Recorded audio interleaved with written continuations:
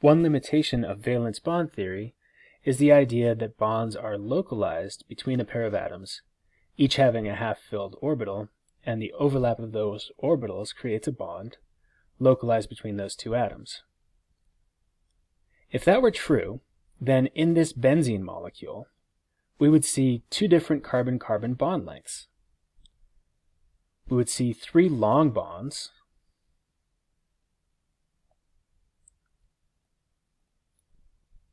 and we would see three short bonds. Because as we know, a single bond is longer and weaker than a double bond, which is shorter and stronger.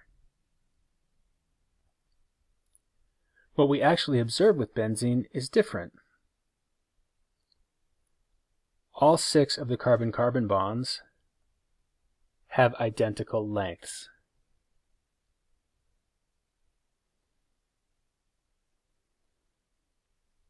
And thus they're equivalent.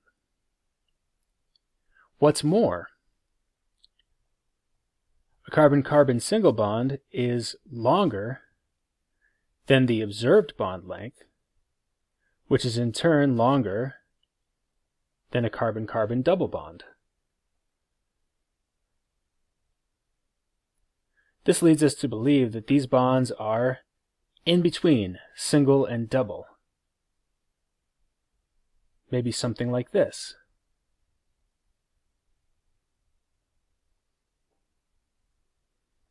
Our explanation of this phenomenon is resonance. There are two possible resonance structures of benzene. Note the difference in location of the pi bonds.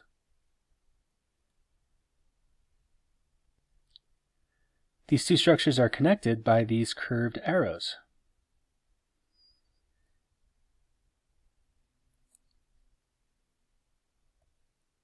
The tail of the curved arrow is where it begins, the head is where it ends up, and when it has a head like this, with a double barb on it, it represents the movement of two electrons. So each of these curved arrows is moving a pi bond from one set of carbons to the adjacent set. So this curved arrow here moves this pi bond from the topmost and top right to the two rightmost carbons. Incidentally, if you have a curved arrow that looks like this with a single barb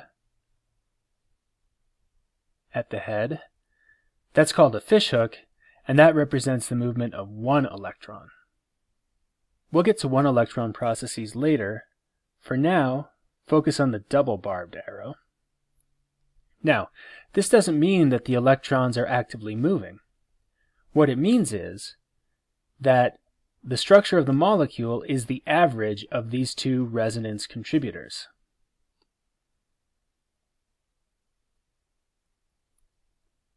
And the resonance hybrid represents the bonding in actuality, and it is the weighted average of the important resonance contributors.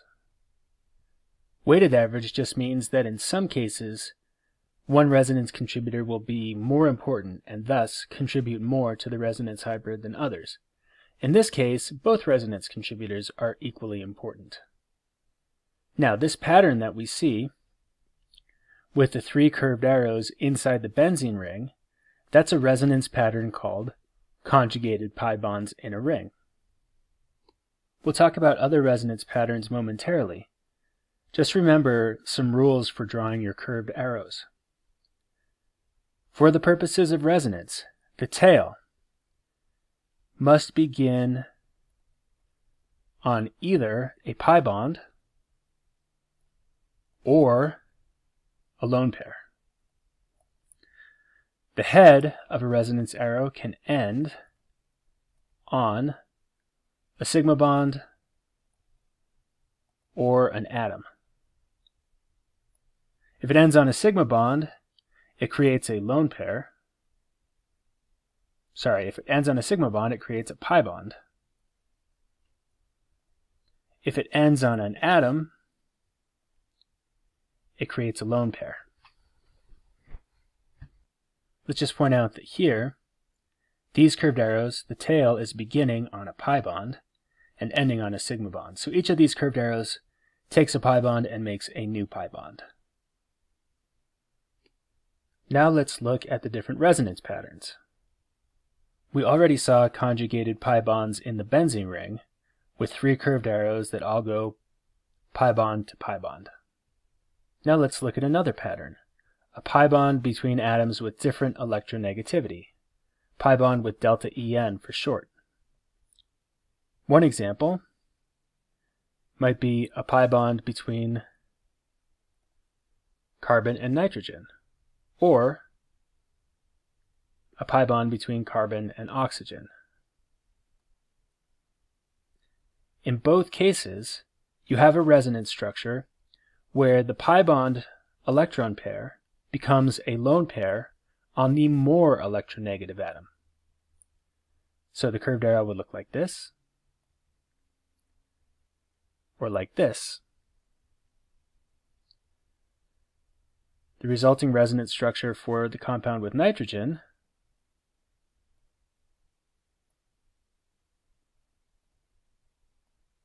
would give a plus one formal charge on the carbon and a minus one formal charge on the nitrogen. For the carbonyl, we'd end up with a plus one formal charge on the carbon and a minus one formal charge on the oxygen. In each case, the tail of the curved arrow begins on a pi bond and ends on the atom, creating a lone pair. And you only need one curved arrow for this resonance pattern. I've just shown two different examples. Another resonance pattern is to have a lone pair adjacent to a carbocation.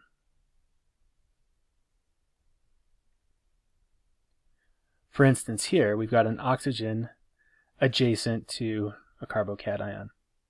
In this case, you can have one curved arrow that turns that lone pair into a pi bond. Here's our resulting structure.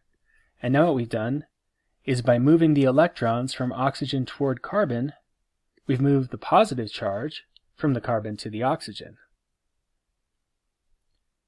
In general, your curved arrow will always begin on a lone pair and end on a sigma bond creating a pi bond, and it's always a single curved arrow in this pattern. Another pattern is to have an allylic carbocation. So what is an allylic carbon? It is a carbon that is bonded to a double bonded carbon. The double bonded carbons are what we call vinylic carbons. And so the carbon that's bonded to one of them is the allylic position.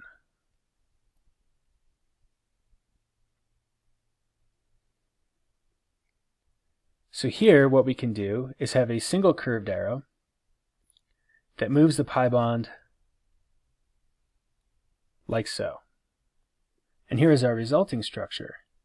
You can see the carbon on the left was vinylic and the carbon on the right was allylic. And now we switched them because we switched the position of the pi bond. And we've moved the carbocation as well by moving the electrons.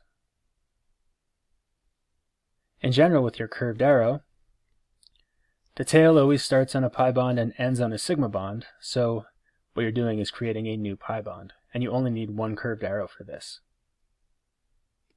Another resonance pattern is to have an allylic lone pair. So notice here I've drawn this with the nitrogen in the allylic position. But I could draw any atom that has the capacity to bond more than once and has a lone pair there. I could have a carbanion, or I could have a neutral oxygen as well. In any case, here we're going to need two curved arrows. We're going to take that allylic lone pair and turn it into a pi bond. That exceeds the octet on the central carbon. So in order to relieve that, we have to have a second curved arrow that takes that pi bond and turns it into a lone pair. And so here is our resulting structure. And notice that we've preserved the total charge. We started out with no non-zero formal charges. We ended up with an ammonium cation and a carb anion. And plus 1 plus negative 1 gives you 0. And this pattern will always require two curved arrows. The first one is starting on a lone pair, ending on a sigma bond, and creating a pi bond. That's this curved arrow here. Starts on the, the allylic lone pair, ends here on the sigma bond, and it creates this pi bond. The second one is starting on a pi bond and ending on an atom to make a lone pair. That's this arrow right here, starting on this pi bond, ending on this carbon, and creating this lone pair. So right here is a summary of the different patterns.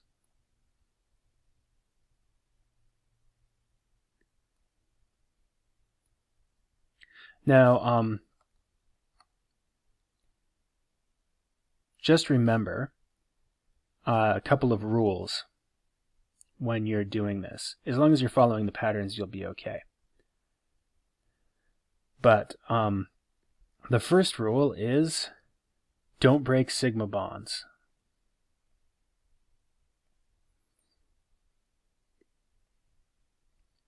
Right, as long as the tail of your curved arrow is either on a lone pair or a pi bond, you'll be in good shape. When we're breaking sigma bonds, then we're actually doing reaction mechanisms, not resonance. Another really important rule is that you can't exceed the octet rule for any second row element, carbon, nitrogen, oxygen, or fluorine. In fact, really the only time it's okay to not have an octet is with a carbocation, but that's a sextet. So you'll definitely want to practice drawing resonance structures. Let's try a practice problem right now.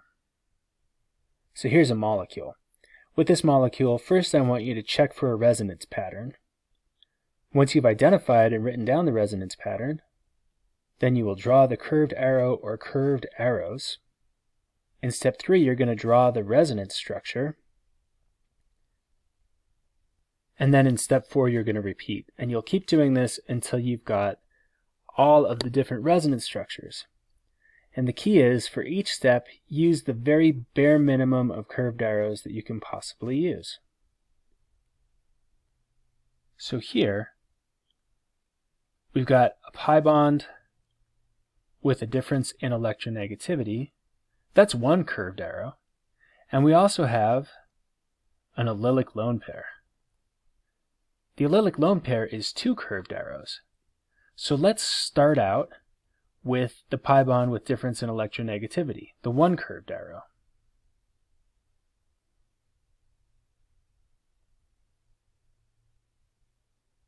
So we've identified the resonance pattern and we've drawn our curved arrow. Now we need to draw the result.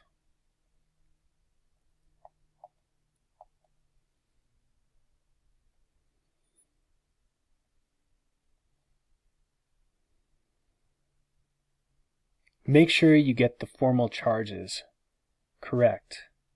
So now we've got a carbocation and an oxyanion. So now we've drawn the resonance structure. Now when we repeat this, we will notice that now we have a lone pair adjacent to a carbocation.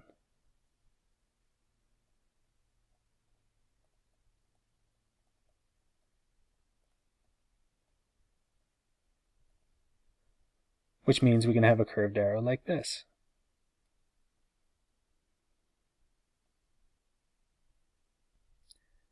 And so the result of that transformation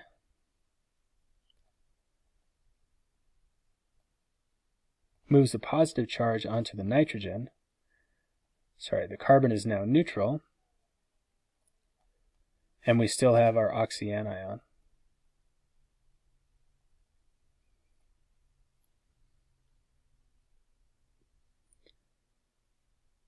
And there's no other resonance activity in the molecule. Now, if we had started with the allylic lone pair, we would have used two curved arrows, and we would have ended up with only one resonance structure. Sorry, only a total of two resonance structures instead of three. So we would have generated the resonance structure with the ammonium and the oxyanion, but we would have lost the one that has the neutral nitrogen and the carbocation and the oxyanion. That's why you always want to use a minimum number of curved arrows for each step.